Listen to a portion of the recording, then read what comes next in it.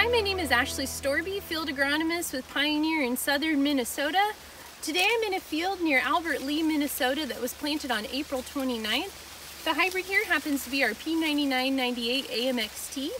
What I'm doing in this field today is checking stalk quality to see if we need to elevate this field in harvest order, being that it was an earlier planted field and an earlier hybrid for our area. In my assessment here, I'm going to use the push test so I'll push 20 plants at that ear level, um, 10 to 12 inches into the next row, and we'll do that for five separate locations within the field. Um, what I'm looking for are any plants that give or, or snap under that pressure. So I'll go ahead and check my 20 plants here.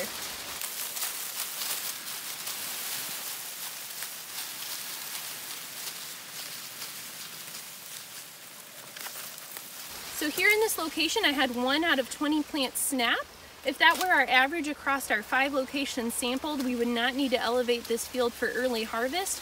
What we're looking for when we make that designation to elevate a field to be harvested would be 10 to 15% of those plants giving under the push test or the pinch test where we check the stalk integrity one to two nodes up to see if that gives. Um, we do though um, encourage you to check your early planted fields or your early hybrids. I'm not surprised with the with the stalk quality here is very good. Our P9998 has looked very consistent across locations with excellent late season stalk quality.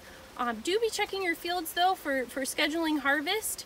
We're having excellent dry down conditions, so we should be ready to be in the field soon. Thank you and be safe. That concludes this Pioneer Growing Point Agronomy video podcast. Visit our page on pioneer.com and follow us on Twitter and Facebook for more agronomy insights.